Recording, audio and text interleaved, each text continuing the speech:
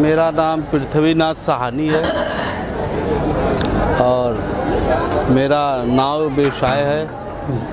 नाव के ज़रिए हम लोग जीते खाते चले आ रहे हैं। मेरा नाव बिज़नेस है। ये तो हमारे पिताजी ने जो है देखा कि विद्वान थे। उन्होंने सोचा कि मेरा तो इस देश में नौकर ही रहना है और कभी भी सरकार हमारे घाटों को ले लेगी। कभी भी हमको भगा देगी कभी भी हमको उजाड़ देगी। कहते हैं लोग कि तुम्हारा यहाँ पर है क्या? तुम हो कौन? तुम्हारा तो चल संपत्ति है। और हम कहते हैं नहीं जैसे इनका चल अचल संपत्ति ऐसे मेरा भी पानी भी एक प्रकार का अपना बॉर्डर होता है। जैसे हिंदुस्तान पाकिस्तान चाइना का बॉर्डर है समुंदर में। क्यों कहते हो कि हमारा ही ज़मीन है हमारा पानी है? इतने बॉर्डर हैं इतने दूर तक तुम पानी में नहीं आ सकते हो। तो हम भी तो अपने आप को कहते हैं कि सदियों से हम कमाने खाते आए हैं और कई पीढ़ी से खाते कमाते आ रहे हैं। तो मेरा भी प्रॉपर्टी मानिए जैसे पंडों का है। तो इन लोग ने आज तक नहीं माना। तो आपने आपके पिताजी ने? तो हमारे पिताजी देखे कि हमारे पानी में तो हमारे आने वाले समय में तो सरकार इसको अतिग्रहण कर लेगी कब्जा कर लेगी हमको भगा देगी। तो मेरी क्या रह जाएगी? तो उन्होंने कहा कि एक घाट ही क्यों न खरीद ले, जिससे कि हमारा तो कम से कम ये रहे कि हम कह सकते कि मेरा एक खरीदा हुआ घाट है। जब हमारे कोई कागज़ आप नहीं देंगे, कोई लिखा पढ़ी नहीं रहेगा, मेरा कोई परम प्रमाण नहीं है, पानी में आज नैया हटा देंगे तो कम से कम घाट का तो लिखा पढ़ी है, कागज़ है, रजिस्ट्री इसीलिए सेल्डीज हम लोग ने लिया। क्यों इतना तारीख देते हो? साल भर में फैसला करिए ना। जैसे विनोद माझी जी का जो है उनको आप जानते हैं? जी जी जी जी बहुत अच्छी तरह से जानते हैं। हमारे समाज के बहुत अच्छे इंसान थे। हमारे समाज में जैसे कि कीचड़ में कमल खिल जाता है आदमी खेलते। हम लोग इतना ज़्यादा पानी तूफ़ान आंधी लोगों का टार्चर आए दिन घाटों पे शोषण पुलिस का शोषण अधिकारियों का शोषण। हम तो देखते हैं डीएम एस आते हैं नाव लेते हैं जो कि अरबोपति है नाव नाव का पैसा नहीं देते। तो हम सोचते हम ही राजा हैं, वो गरीब है, पैदा हुआ, वीर हुआ। वीर था, वो किसी से डरता नहीं था। उसके में खासियत था कहता था, हम मर जाएँगे, जेल चल जाएँगे किसी से डरेंगे नहीं। और उसी का नतीजा है कि आज वो जेल में। कहा जाता है न कि जब एक नेता पैदा होता है तो उसके पीछे लोग खोदने वाले बनाना चालू कर देते हैं। क्योंकि आप गरीब परिवार में ही जब एक अच्छा आदमी होता है तो उसके दुश्मन बनाए जाते हैं। अबे, वो कैसे खा रहा है? अभी वो कितना नेता हो गया? वो कितना आगे हो गया? तुम क्यों नहीं? तुम्हारे ऊपर हाथ रख रहे हैं। तुम जरा चलाओ, ये करो, वो करो। तो तरह तरह का टर- टार्चर लोग करने लगे। सारे उसके भाइयों को चढ़ाने लगे, लड़ाई झगड़ा कराते थे। उसने कभी नेता था, वो कभी ये सब के चक्कर में नहीं रहा कि हम हत्या करेंगे, मारेंगे। उसके ऊपर जब भी कोई कांड होता था, उसने पुलिस को हमेशा अप्लीकेशन देता था। जिस दिन हत्या हुई, उसके एक दिन पहले तो दो दिन पहले उसने पहले अप्लीकेशन दिया था, उसके खिन इंस्पेक्टर चौकी इंचार्ज दशास मेत का जाके रात के हुआ उनसे बातचीत कराया और विनोद सहानी ने अप्लीकेशन दिया था। कि देखिए हमारा भाई बार बार हमको परेशान करता है मेरा नाव को घसका देता है और मेरे नाव को नहीं लगने देता। हम नेता हो गए हम चूँकि लड़ नहीं सकते हैं। हम आप लोग के सहारे करेंगे क्योंकि हम लड़ाई करेंगे तो आप कहेंगे कि नेता हो कि तुम लड़ रहे हो। पुलिस उनका साथ नहीं देता था। क्योंकि का साथ क्यों देता था वो? उसका कारण था कि पूरे बनारस का जो अस्सी से राजघाट तक पुलिस जो है जल पुलिस धन उगाई करती थी वो पूरे तरह से रोक लगा दिया था। नहीं तो उनके भाई के साथ क्यों देती? कारण यही है ना कि हर अस्सी से राजघाट तक जितने अ, पूरे मल्ला समाज से जल पुलिस जो पैसा लेती थी सब माझी से। रंगदारी टैक्स है नाव ले आओ। है क्या है? तुम्हारा लाइसेंस बना है कि नहीं? है तुम्हारे पास ज़्यादा सवारी है कि नहीं? तो वो दो तीन साल से पाँच साल से उनके ऊपर ब्रेक लगा दी थी जिससे थाने की पूरी कमाई खत्म हो गई थी। तो थानेदार का, किसी एक मंदिर का, किसी एक कंपनी का, जब उसकी पूरी कमाई एक एरिया में नेता पैदा हो गया, छोटे जात में, गरीब समाज में तो उसका जब पूरा खत्म हो जाएगा तो कभी नहीं चाहेगा कि ये नेता रहे। तो नेता को अब किस तरह उसको लपेटना है, पुलिस ने उसके भाई के ऊपर हाथ पे कंधे पर हाथ रख दिया।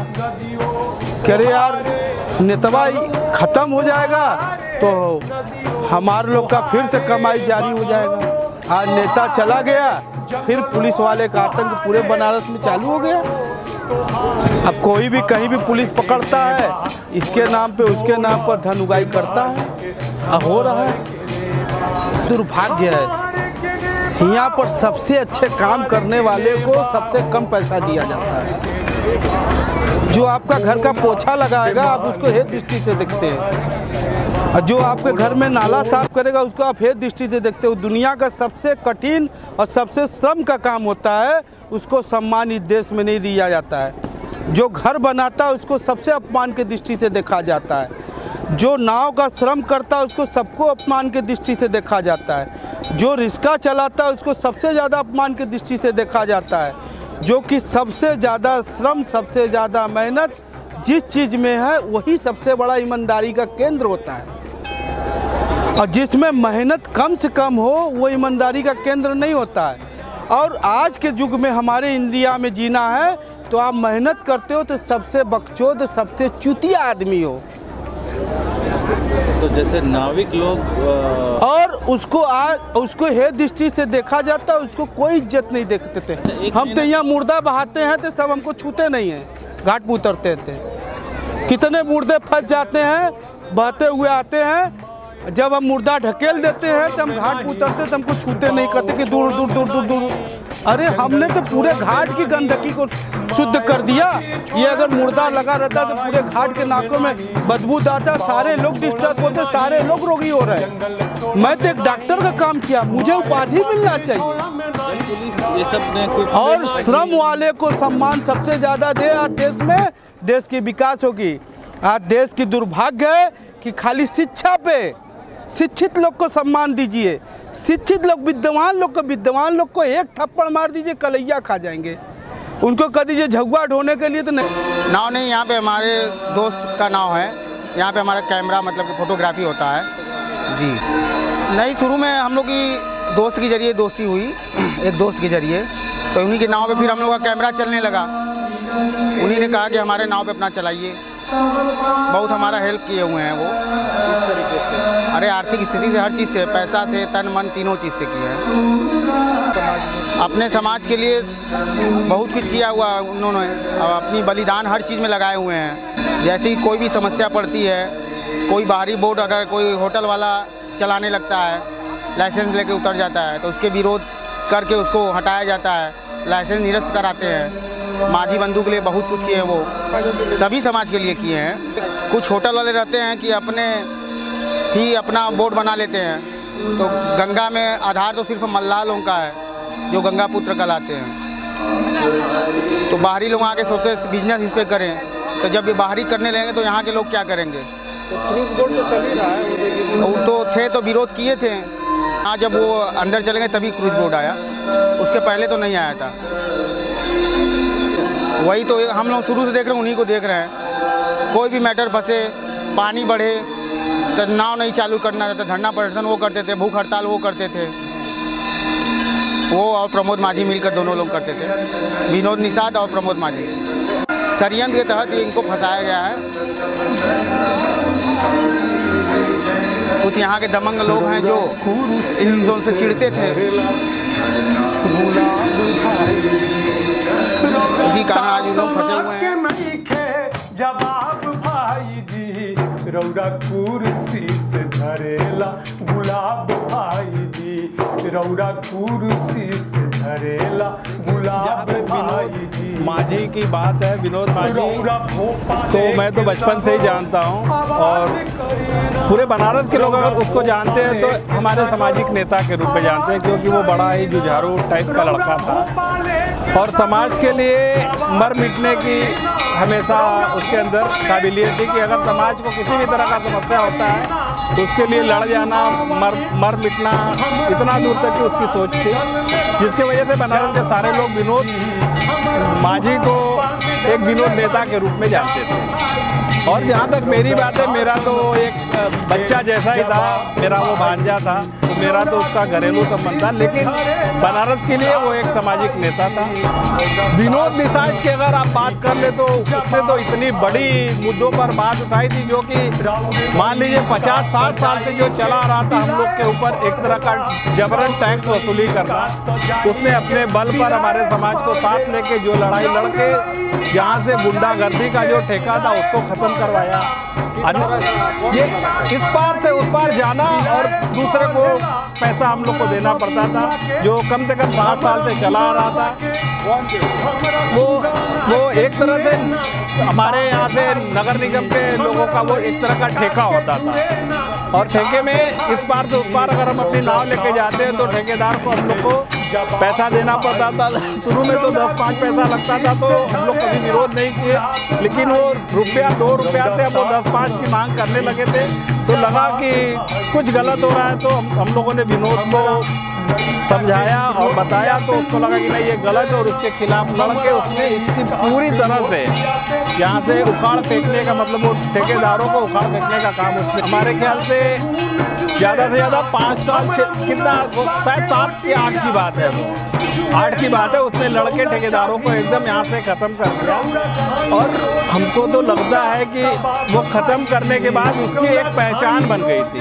राजनीतिक लोगों के नज़र की वो किरकिरी होने लगा था कि अब हमारे समाज में एक लड़का नेता बन जाएगा। तो राजनीतिक लोग शासन और प्रशासन के लोगों के नज़र में लगा कि अब बनारस में कोई मल्ला का नेता बन जाएगा तो उसके खिलाफ लोगों ने षडयंत्र रचना शुरू कर दिया।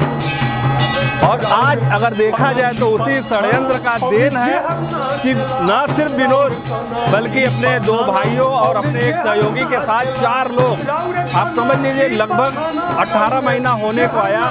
जेल के अंदर बंद है, न तो उसको सजा ही मुकर्र कराई जा रही है, न ही उसका बेल हो रहा है। तो आप समझ सकते हैं कि, कि यहाँ पे बाहुबली लोग जो जबरन हम लोगों से पैसा लेना, ठेका लेना और नावे चलाने का काम करते थे, उसके आते ही लोगों का धीरे धीरे सफाया सरकारी लोग और गैर सरकारी लोग दोनों थे, जैसे ठेकेदार लोग और यहाँ के माफिया लोग, पंडा लोग, गुंडे लोग गैर सामाजिक लोग थे जो हम लोगों से दोहन करते थे और इसके आते ही ये सारा दोहन धीरे धीरे हम लोग से बंद होने लगा था।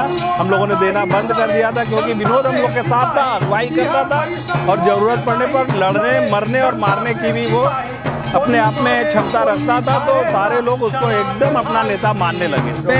फंसाने का तो ये षडयंत्र है। एक भाई को दूसरे भाई को मारने के केस में फंसाया गया, तब तक तो उस भाई को बरगला फुसला के उसके सामने खड़ा कर दिया गया, लेकिन अब समस्या ये आ गई है कि उस भाई को भी, जिसका भाई मरा है, उसके सगे भाई को भी आज के दिन में जेल के अंदर बंद किया गया है, क्योंकि ये सारी शासन प्रशासन की एक षड्यंत्र है। क्योंकि उन लोगों को लगने लगा था कि अगर दशाश्वमेध घाट से विनोद निषाद और प्रभु जिसका हत्या हो गया, उसको अगर यहाँ से हटा दे तो यहाँ पर आराम से बल्लाओं पर काबू पाया जा सकता है।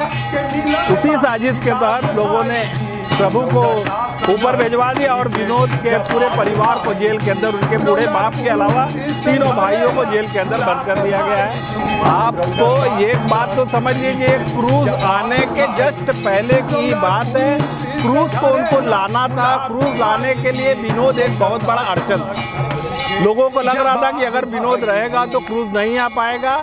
इसलिए पहले विनोद को हटाया गया, प्रभु निषाद को हटाया गया, उसके बाद क्रूज को लाया गया। उनको लगता था कि अगर ये दोनों नहीं है तो अब क्रूज को बड़े आसानी से चलाया जा सकता है। लेकिन जाते जाते भी विनोद ने लोगों को सीख दे दिया था कि लड़ाई कैसे लड़ी जाती है। उसी का देन था कि विनोद के न रहने के बावजूद भी हमारे सामाजिक लोगों ने लड़ाई लड़ी और उनके जिस जगह से वो चला रहे थे, उनको उठा के अपने क्षेत्र से बाहर उखाड़ फेंकने का भी काम किया। तो ये सारा विनोद का ही देन है कि लोगों के मन में एक जज्बा उसने पैदा कर दिया था कि लड़ाई कैसे है। पत्थर ही मिले का। मालूम कैसे हो पता राह तबील का। मालूम कैसे हो पता राह तबील का। लोगों ने तोड़ा मैं पप्पू माझी मैं एक नाविक हूँ, केदार घाट पर रहता हूँ। और मैं माँ गंगा निषाद सेवा समिति का एक कार्यकर्ता था, जिसका अध्यक्ष विनोद निषाद थे। विनोद जी भाई हमारे समाज के आदमी थे, और समाज पर किसी तरीके का उत्पीड़न होता था। जैसे वो नाव का समस्या हो, या जल पुलिस का समस्या हो, या तो कोई शासन द्वारा उत्पीड़न होता था तो वो आगे खड़ा होते थे। उनको जो है कि अनुभव था राजनीति के बारे में। वो अपने समाज को माने एकता, एक तरह से एकजुट का वो दे दे रहे थे, मार्ग दे रहे थे। लेकिन कुछ दिनों तक भाई किए और फिर उनके साथ जो हादसा हुआ, अभी तो फ़िलहाल वो अंदर हैं, जेल में हैं। काम करते थे यही कि माने समाज के ऊपर किसी तरीके का जैसे कि उत्पीड़न होता था, चाहे वो जल पुलिस का हो, कभी ओवरलोड दिखा के चलान कर देते थे ओवरलोड दिखा के वो धनुगाई काम करते थे कि भाई ओवरलोड है, नहीं करोगे तो चलान कर देंगे। कभी जो है कि ओवरलोड में दिखाते थे, कभी छोटी नाव दिखाते थे, कभी जैसे कि पानी बड़ा हुआ है नाव बंद है, ऐसे करके कि तुम लोग कैसे चला रहे हो, इसी तरीके से वो लोग धनुगाई का काम करते थे। और उनको उनको ये सब काम माने जब समाज के साथ जब वो जुड़े अपना अध्यक्ष बने और समाज को लेकर जुड़े तो ये सब चीज़ें पर वो जो है अ, कड़ी कार्रवाई किए तो ये सब बंद हो गया। शासन प्रशासन से वो थोड़ा सा प्रशासन हमेशा से नाविकों के खिलाफ ही रहा है। देखिए सर ऐसा है कि जल पुलिस जो है जब से घाट में आई गंगा जी के किनारे तो प्रशासन के अधिकारी अक्सर बदलते रहते हैं, चाहे वो एसएसपी या डीएम जो भी हैं, उनको कुछ जानकारी नहीं होता है। गंगा जी के बारे में और नाविकों के बारे में जानकारी नहीं हो। लेकिन जल पुलिस जो है बराबर रहती है घाट किनारे, वो जानकारी उनको देती है। जैसा उनको जानकारी देते हैं, वैसा उन लोगों को मालूम होता है। जैसा कि उन्होंने धन उगाए, उनका बंद कर दिया, हैं तो इस तरीके से वो लोग भी माने थोड़ा सा नाराज़ हुए। तो इस तरीके से थोड़ा सा जल पुलिस के लोग जो है, प्रशासन को गुमराह करते रहे, जो बड़े अधिकारी हैं कि ऐसा है, पानी बढ़ा हुआ है, नाव डूब जा तो ज़्यादा थोड़ा पानी जब बढ़ेगा तो नाव हम लोगों का बंद कर दिया जाता है। इसके इसके ऊपर जो, इसके ऊपर जब ज़्यादा पानी हो जाता है तो वही प्रशासन के अधिकारी कहते हैं, अपनी नाव लेके चलो, बचाओ लोगों को। तो जो हम लोगों के छोटे छोटे नाव है उनको ट्रक पर लाद के ले जाते हैं। उनको बचाने का भी काम किया जाता है। समस्या? समस्या क्या है? जैसे नीचे का जो छोटे है परिवारी लोग बताते हैं उनको वही समझ में आता है। अधिकारी अधिकारी के या तो आदमी पहले से जाके मिल के बताए ऐसी ऐसी समस्या है। क्योंकि हर साल हम लोगों का जैसे सावन में कमाई होता है सावन में थोड़ा सा पानी बढ़ गया तो यात्रियों को नहाने में असुविधा होता था, उस समय भी नाव बंद कर दिया था, एक अधिकारी ऐसे आए थे।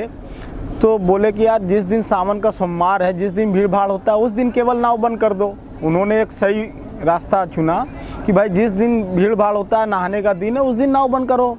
उनका भी रोजी रोटी है, तुम क्यों बंद कर दोगे एक महीना? उनका कमाने का समय है। तो जब अधिकारी के पास जाया जाता है, उनको समझाया जाता है तो उनको समझ में आता है।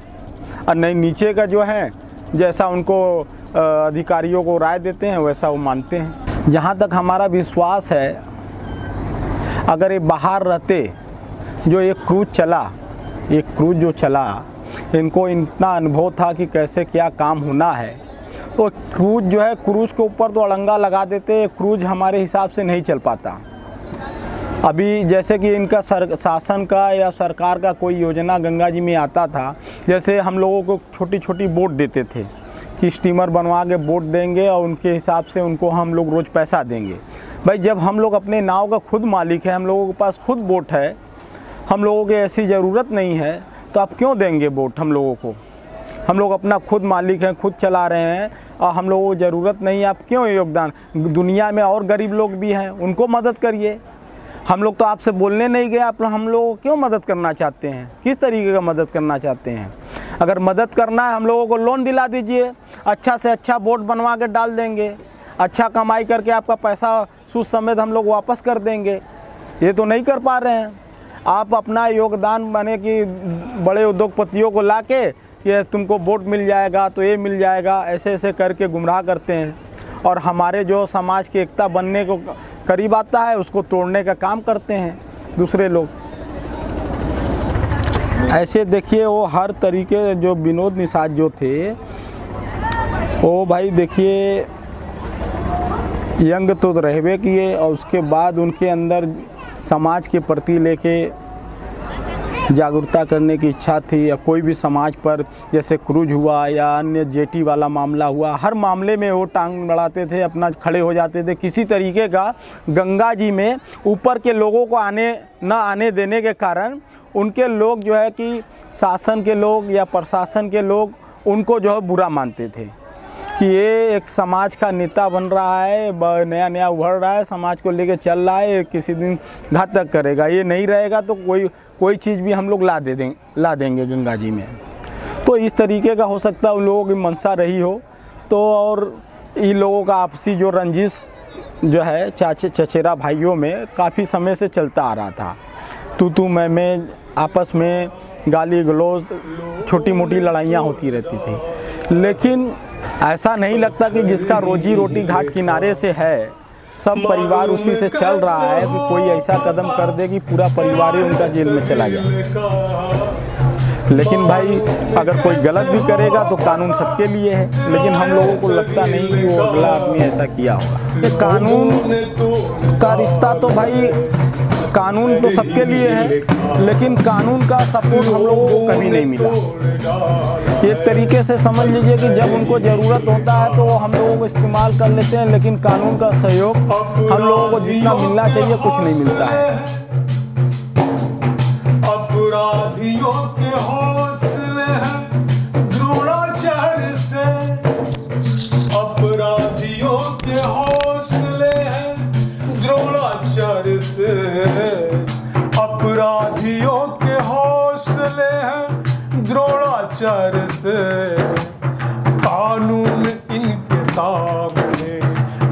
लड़का है भील का अपराधियों के हौसले हैं द्रोणाचार्य से। कानून इनके सामने लड़का है भील का मालूम कैसे हो पता, राह तवील का मालूम कैसे हो पता, राह तवील का लोगों ने तोड़ डाला।